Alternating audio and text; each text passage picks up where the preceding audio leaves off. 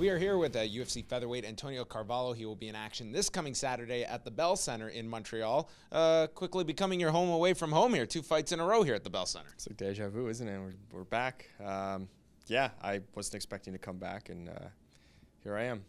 Uh, you go back uh, to November. Uh, I've never seen a man so critical of himself after a performance, a victory no less. Um, was that a hard fight to get over for you? I mean, even in winning, I mean, you seemed to re- really kind of down on yourself uh, after your performance. Was that something that you know once you got home and sat down and maybe rewatched it, was like you know maybe not your best performance, but a win nonetheless? Uh, I'm still grateful for the win, but um, still feel the same. Yeah, it doesn't change. You know, I, I don't know can't I can't change the way I feel about that fight, and uh, if anything, it just makes me want to prove a lot more uh, come Saturday.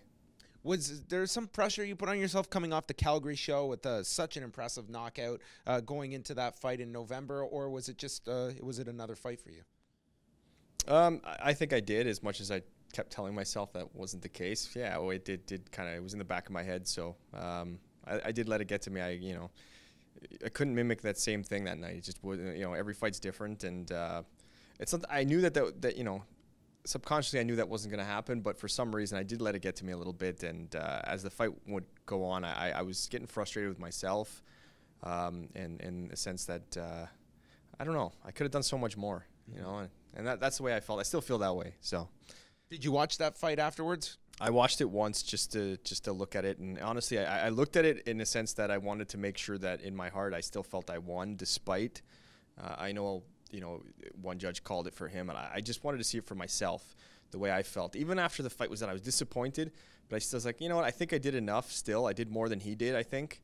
Uh, that being said, I wanted to see it again, and when I watched it, I said, you know what, I, I'd say I, I took at least the two two rounds out of the three, and and uh, I'll take the win just not happy with the performance. Fighting somewhere like the Bell Center, where you're talking about 18,000 people, when the fight begins, is that a factor at all? Is it just that you are in a, you are in a fight zone at that point where it doesn't matter if it's five people or 18,000, or does that change things uh, from a mental perspective? I'm just curious. I think it, it can, yeah. It depends. I, I mean, I've had times where it's I maybe have let it get to me, and I've had times where it doesn't. It all depends on, on how I feel that night, and uh, that's something I got to figure out. Uh, I mean, right now it's it's it's kind of all familiar. Right now, it's this yeah. is like we're going through this process again. Same place, same spot. Um, same annoying guy with the microphone.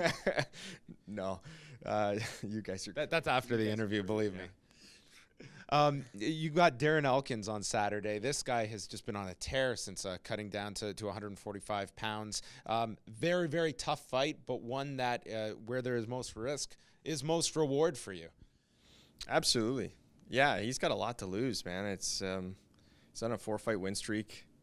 I mean, I, I didn't think it's funny because they I got the name and I said, oh, that's an interesting name. Mm-hmm. I didn't expect to see someone's name like that, and, and I felt that he was way ahead of me, and I, I still think he is. And uh, you know, goes to show you that he's just a fighter wants to prove himself. I, I think you know it's funny because I, I I ended up reading one of his interviews, and I just realized that he, how self-aware he is too about where he stands in the division and, and, what he needs to do. And uh, he's very much like me in that sense. Like he's well aware of that. You know, decision wins sometimes don't cut it, and he knows that. And despite, I, I think he's very impressive regardless. I mean, look at the, the opposition he's fought. Um, tough guys, and he's always been very dominant. And, and I have no complaints as far as the way he fights, but he puts that kind of pressure on himself too to finish. And, and uh, I think that's what he's going to be looking to do against me, and I'm going to be looking to do the same against him. I think we both know that in order to make some sort of statement, we both have to be impressive, and uh, hopefully that's going to, you know,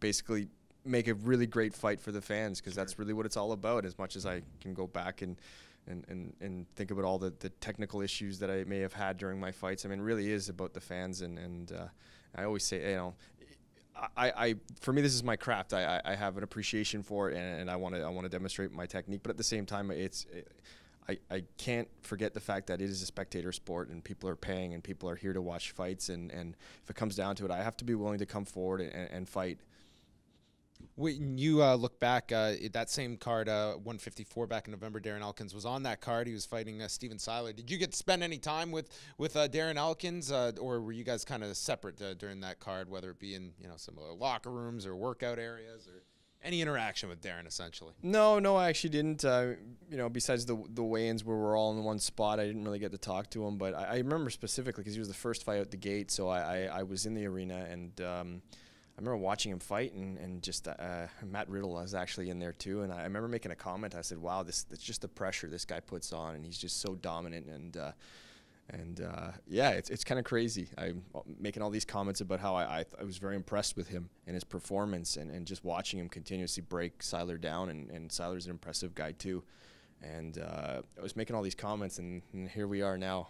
I'm going to have to fight him. There you go. You were doing some instinctual scouting there that you knew would come in uh, helpful a couple months later. Uh, the featherweight division, to me, it's just so stacked right now. I mean, do you kind of uh, get caught up looking at the giant picture as a kind of just tunnel vision on one fight at a time, and that hopefully the the wins will kind of yield your name into that upper echelon?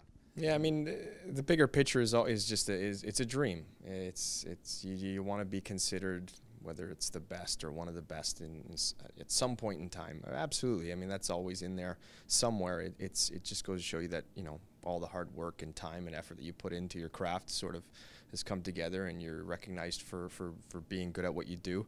Um, I think that you know for every fighter, I think that's what they want to a certain degree. Um, but yeah, I don't I mean I don't know where I stand in the featherweight division right now. There's so many good guys.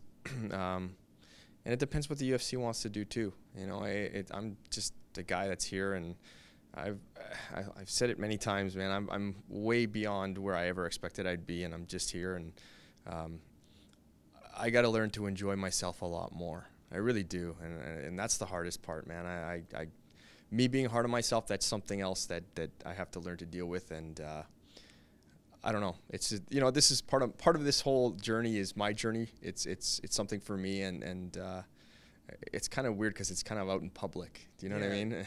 It's got to be very uh, difficult. I can imagine that you you know you're someone that is, you know very honest with it, kind of this struggle that I I don't think people like us always kind of take into account the fact that you know this is there's so many moving parts to this business of being a fighter. There's so many different ways that you have to, you know, whether it just comes to position, positioning yourself to the public and such. And that, it, do you kind of have a solid team around you where you can really be open about these things and kind of deal with the the day to day stresses, so to speak, uh, that comes with this? It's a gigantic spotlight on on some of you guys, and you know, it's job certainty is you know every performance is kind of your job evaluation, so to speak. It's got to be. Uh, I don't think the stress is sometimes taken into account a lot of the times by people that aren't in there. Absolutely, you're 100% right, and and and that's it. And going back to all the people that are around me, I'm that I think that's what you know keeps me around. Yeah. Uh, as much you know, I just love doing martial arts, but I also love to compete. There's that side of me that no matter what, I always, you know, I have to get through all these obstacles, things that sometimes I'm not as comfortable doing just to get to that point. And I'm okay with that because I really do want to get in there and perform and do my thing and, and do what I love to do. Uh, certainly, all the people around me that, that are with me, that support me, and uh, their belief in me sort of guides me and, and, and, and sort of gives me that energy and, and that, that, I want to succeed because you know all these people put so much time and effort into me that that it, it would be a disservice to them if I didn't try hard to do well. Yeah. Well, it's a very it's very interesting. You, you come across really as, as a perfectionist, and that really sometimes uh, separates a lot of people. Would that be an accurate statement? You're someone that you know. It's uh, I find myself. I will watch something. It's like the slightest error. That's what I focus on. Uh, are you kind of similar? Absolutely. You know, it's it's like a microscope. Anything you could do ten things right. Mm-hmm. and you're going to focus on that one thing that you do wrong because you want to fix it and it just seems like it's just this big deal and maybe it's not but i mean that's just part of being a perfectionist it's part of you know, I know lots of guys that are like that, lots of professional athletes, lots of, uh, you know, in anything they do in life, sure. they're like that, right? And, and I think that to a certain degree, you know, anyone who's successful at their craft is like that. I think you have to be a little bit like that. You got to kind of be nitpicking on, on, on, on the little things to in order to, to achieve sort of that, I guess that, that perfection that doesn't really exist, but, you know, we try. Yeah. You're a fascinating individual, Mr. Uh, Carvalho, and we are going to see you in action this Saturday, taking on Darren Elkins in featherweight action.